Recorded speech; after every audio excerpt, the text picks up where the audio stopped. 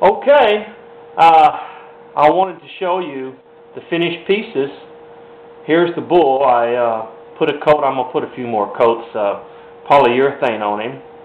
But here's the here's the uh, bull. You see, he turned out pretty. That uh,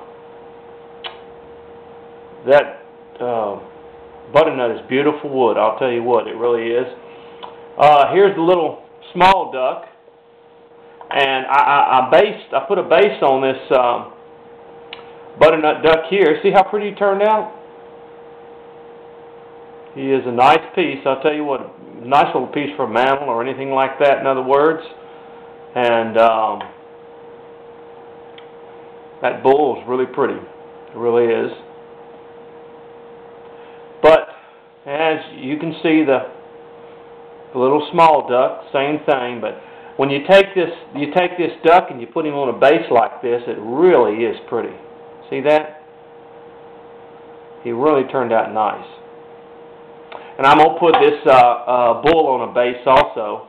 Uh, I don't have one right now. I just took a normal little base uh, that I get at uh, Hobby Lobby, and I put some uh, walnut stain on it.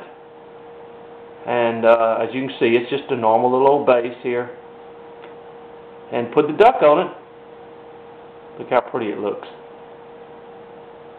And that's our that's the project that we were just doing. We did the bull, and we did the uh, uh, the duck.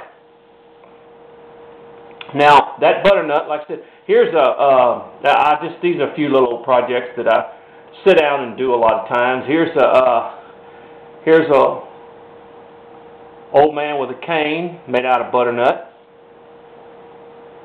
See? Not bad. Then I, uh, I just, these are little sit-down carvings I call. I sit down and I just carve them.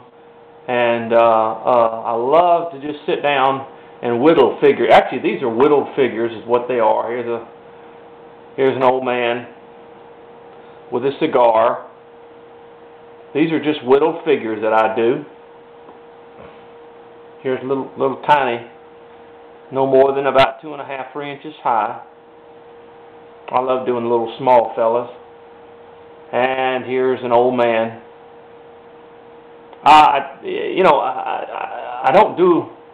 People say, well, you don't do a lot of females. No, I don't. I like the, I like the, uh, I like to do the older people because it, uh, I can get so much expression out of them. You know, if you see, if you take, you take the different expressions on their faces, in other words, and then you look at this face, and they're similar, but they got different expressions on their face. And here's the old man with the the lip further out and stuff, and uh, uh, so these are just little whittlings that I've done out of scrap and and had a good time doing. But I wanted to show you the major projects here that we just got through doing. This is the bull, sanding him up just a little bit. Let, still got the knife cuts in him uh, out of butternut. And here's the, uh, the duck mounted on a base. And like I said, I'm to mount the bull on a base also, but uh, you can see how nice that looks. That would be nice for any gift or mantle or whatever, in other words. So, that's our project, and, and like I said, here's the little miniature duck. Doesn't look a, looks almost similar to that one. But uh, someday I'm to have to try one where I paint, I paint him, just kind of paint him around and do a nice little gift. But anyway, that's the projects that we did. And thank you for doing them. And uh, uh, have a safe time carving. And God bless you now. Bye-bye.